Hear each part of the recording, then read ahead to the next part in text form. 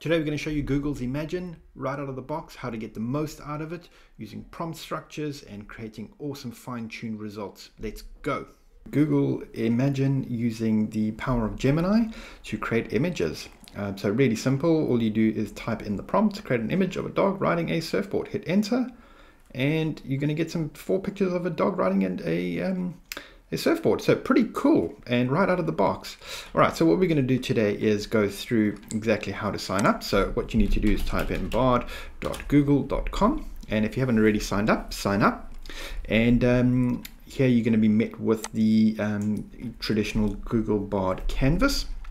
And ultimately, here's where you're going to type in your prompts. It's an experimental phase, uh, phase at the moment, but what we want to do is um, start with um, one word prompt. So let's go create image of a polar bear. All right, so basic, really simple. Um, right out of the box, what it's going to do is it's going to create a image of a polar bear.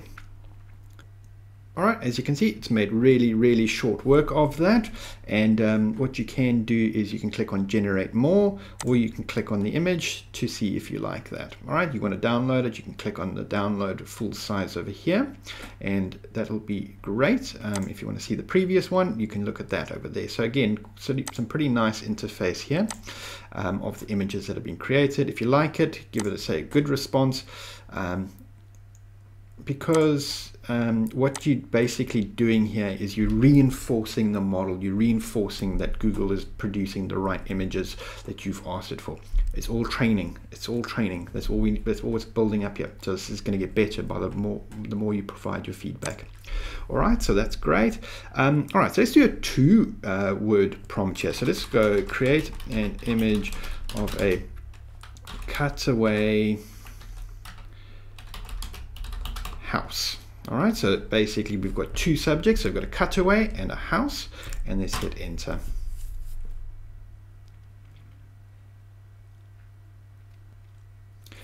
All right, so here's your first image over here. here. Is a cutaway picture of a house, and um, it's pretty much hit the brief over there.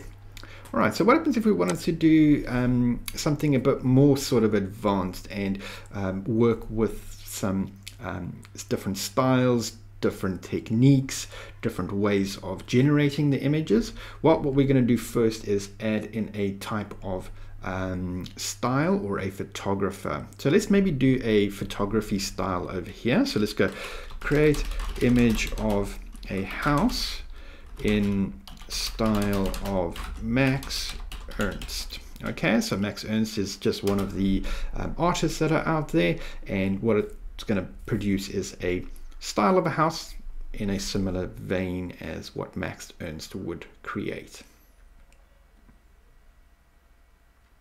I'm not affiliated with Max Ernst, but this is what it would basically do.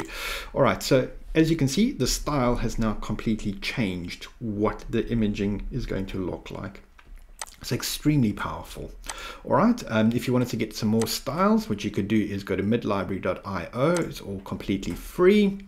And you can um, basically browse different styles um, for different things that you would like. So you can click on all styles and you can basically have a, have a little squiz over here at what it looks like. Okay.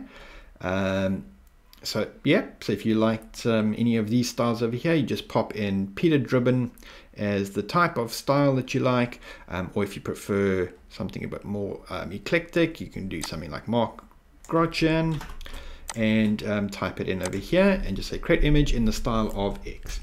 All right, that's great. Okay, so let's let's level it up even more.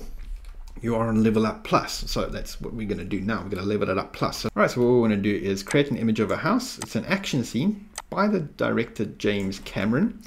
Ultra realistic, house with cool things around it, wide aerial shot, using a Canon, and lighting is natural. So let's hit enter and see what it does.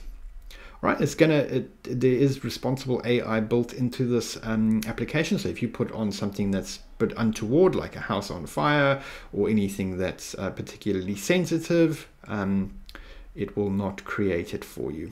Okay, so this is what um, the picture is going to be created now. So there's your um, picture. And as you can see, it's going to be completely different to just a house. Okay, so this is what a James Cameron house would look like. All right, so really, really cool. Um, ultimately, what you can do now is start playing around with different types of shots, different type of subject. So let's go create image of beautiful sandy beach. Um, let's do cinematic um, sand castles and uh, waves on the beach Okay, so soft beach and rolling landscape. Um, sunny weather. Uh, and we can do a Canon EOS as well.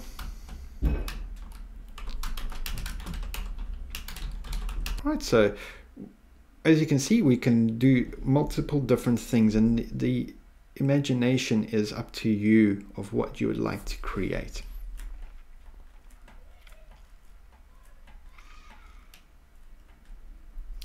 All right, so there is your beautiful sandcastle on a beach with some waves um, and looking pretty decent if you ask me.